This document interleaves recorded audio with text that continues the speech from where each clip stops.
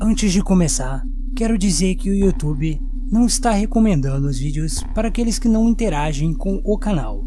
Então eu conto com o apoio de vocês de deixar aquele like no vídeo e o seu comentário e me seguindo nas redes sociais. Assim você fica sabendo de tudo o que acontece nesse mundo sobrenatural. Obrigado. Olá, bem-vindos ao canal Oliver Fear. Anda circulando nos grupos de WhatsApp e no Facebook uma imagem junto com um áudio que seria uma criatura assustadora na porta de uma igreja.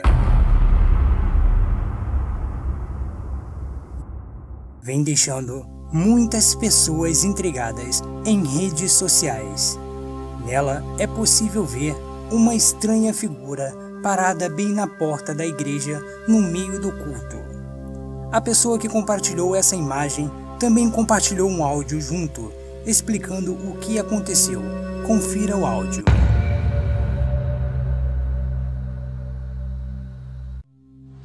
Olá, queridos. Graça e paz sejam multiplicados. Estou enviando a vocês uma foto que foi tirada dentro de uma congregação. A minha cunhada de cima do altar, bateu essa foto com o aparelho de celular. Eu gostaria muito que você observasse ela. Puxa o zoom dessa foto e veja quem apareceu na porta.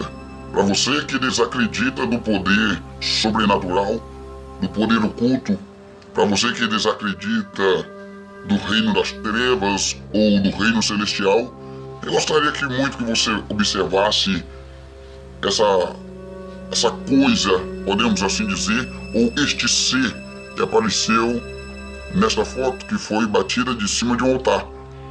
Eu gostaria de deixar bem claro para você que essa foto não é fake, não é montagem, é verídica.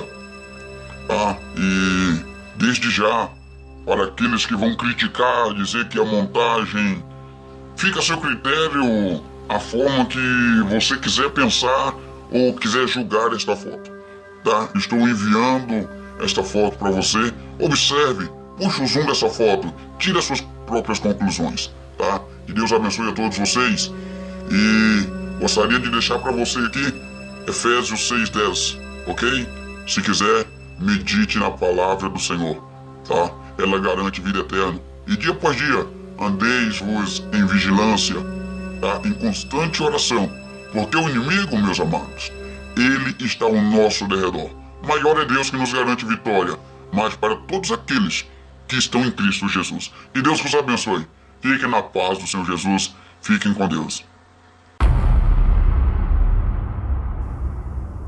Mas e aí, meus amigos, o que você acha que seria essa estranha figura parada na frente da igreja? Deixe sua opinião aí embaixo nos comentários. Obrigado por assistir esse vídeo até a próxima.